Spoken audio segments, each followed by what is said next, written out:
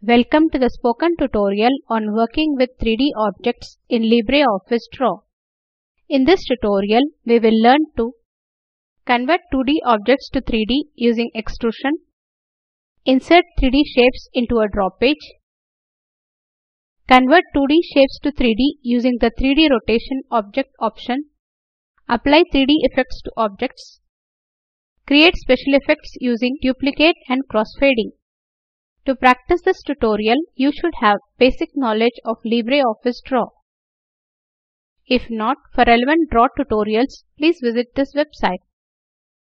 This tutorial is recorded using Ubuntu Linux OS version 18.04 and LibreOffice Suite version 6.3.5. Let us draw a geometry chart that shows a 2D shape and its equivalent 3D form. For example, a square is a 2D object and a cube is its 3D form. Open a new draw file. We will name the file as 3D Objects Chart and save it on the desktop. Draw a text box at the top of the page. Type the text Geometric Shapes in 2D and 3D inside the box. Press Ctrl A keys to select the entire text. In the sidebar deck, click on the Properties icon. Increase the font size to 22 as shown. Let us align the text to the center of the text box using the Align Center icon. Close the sidebar deck. On the standard toolbar, click on Align icon and then on Centered. Click anywhere else on the page to deselect the text box. Let us now divide the page into two vertical halves using a snap line. Click on the vertical ruler to see the two-sided arrow. Drag the snap line to the center of the page to divide it into two halves approximately. Let us insert a text box on the left side of the draw page. Type 2D shapes inside it. Select the text 2D shapes.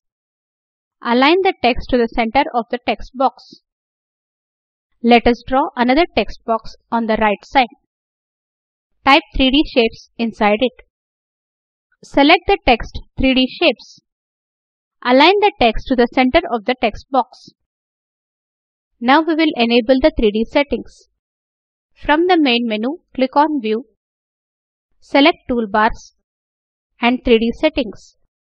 3D Settings toolbox is displayed at the rightmost end of the standard toolbar. You can drag and place it in a convenient location on the standard toolbar. In some versions of Draw, you may not be able to do so. First, we will draw some 2D shapes on the left of the snap line. The method of obtaining a 3D object using a 2D object is called extrusion. Basically, the surface is moved outward to create the 3D object. Draw a rectangle a square, a circle, and a triangle one below the other. Let us select the objects as shown. Let us align the objects to the center using the centered option. Now we will change the color of all the objects. Click on the Fill Color drop-down and select Light Red 4. Next, let's copy and paste the objects by pressing Ctrl C and Ctrl V keys. Let us drag the copied objects and place them on the right half of the page. Click anywhere else on the page to deselect the objects. Now select the copied rectangle and right-click for the context menu. Click on Convert and then select to 3D. The 2D rectangle is converted to a cuboid. Similarly, convert the copied square, circle and triangle into 3D objects.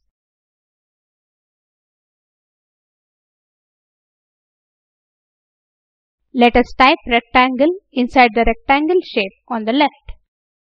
Similarly, type square, circle and triangle in the corresponding objects. However, we cannot type any text on 3D objects. To type text, we will need to use the text tool. Click on the insert text box icon and draw a text box inside the cuboid. Type the text cuboid inside it. The text box and the cuboid are treated as two separate objects. So let's group the text and the corresponding object. Similarly, draw text boxes for the other 3D objects. Then type cube, cylinder and pyramid inside the corresponding objects. Let us group the objects as shown before.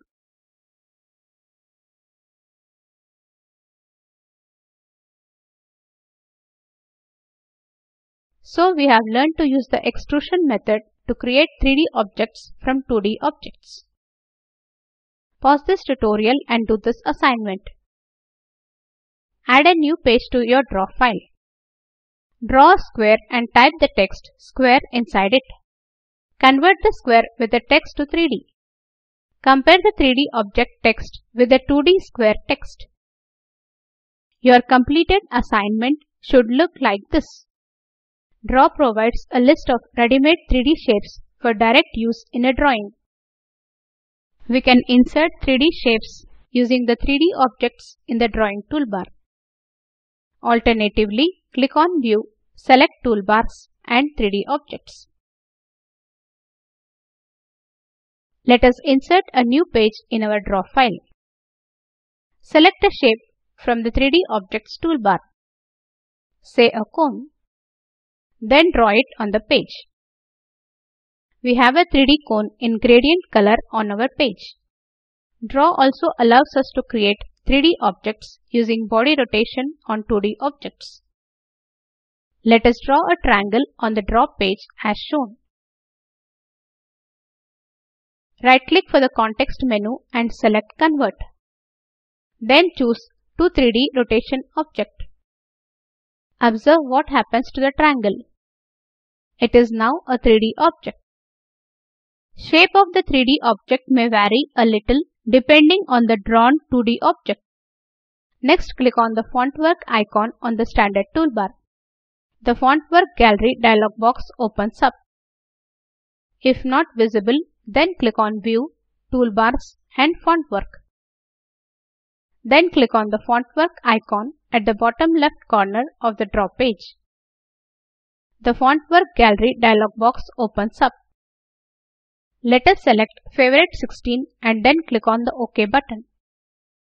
The text Fontwork is displayed on the draw page. The visible text may vary for different system configurations. Now we may want some other text in place of Fontwork. How can we do that? Simply double click inside the text font work. We will see the word Fontwork in black color within the larger text. Select this text and type another text, for example, spoken tutorials. Now click anywhere on the draw page. The words spoken tutorials will now be displayed on the page. Let us resize this text for better readability. Now let's learn to apply effects to the 3D cone. Select the cone, right click for the context menu and select 3D effects. The 3D Effects dialog box appears. We can see various options here. Let us change the depth parameter to 3 cm. Under segment, let us change horizontal to 12. Under normals, let us select the flat option. Observe the preview of the object in its preview window at the bottom. Now click on the Assign icon at the top right corner of the dialog box. Then click on the cross icon at the top right corner to exit the dialog box. Observe the effects on the cone. Here is another assignment for you. Create a similar picture as shown on the slide. Use the Convert to 3D Rotation Object option to achieve this. Next let us create special effects using Duplicate option. Let us insert a new page. Let us draw a rounded rectangle on the draw page. Select the rounded rectangle tool and draw the shape on the draw page. From the main menu, select Shape and click on Duplicate. The Duplicate dialog box appears. We will enter the following values. Number of copies is equal to 10 and a placement x-axis is equal to 0.10, y-axis is equal to 0.20, angle is equal to 5 degrees. We will keep the enlargement values as default. Width is equal to 0.20 and height is equal to 0.30. Now we will change the start color to yellow and end color to red. Click on the OK button. Look at the great special effects that we got.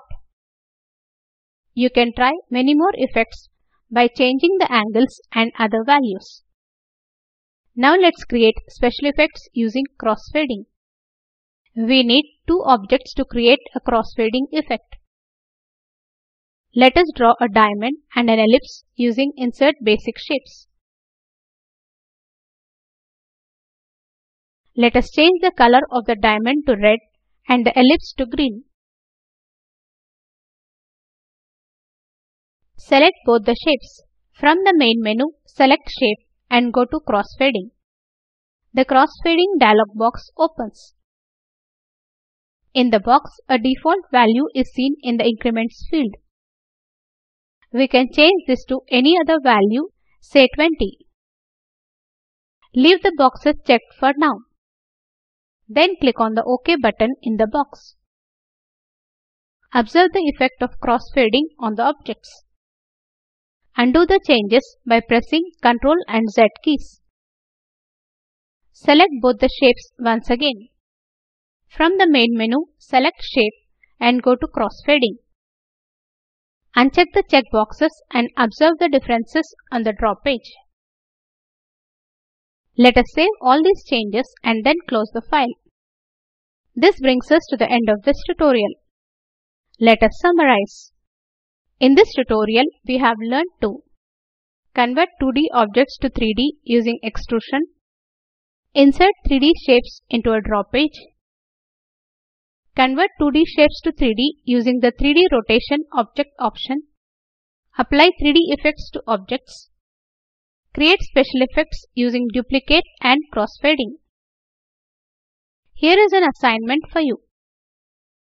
Draw various shapes and try duplicate and crossfading options using them. The video at the following link summarizes the spoken tutorial project. Please download and watch it. We conduct workshops using spoken tutorials and give certificates. For more details, please contact us. Please post your timed queries in this forum. The Spoken Tutorial project is funded by the Ministry of Education, Government of India. This tutorial was originally contributed by DesiCrew Solutions Private Limited in 2011. This tutorial is contributed by Nikita Misal and Madhuri Ganpati from IIT Bombay. Thank you for watching.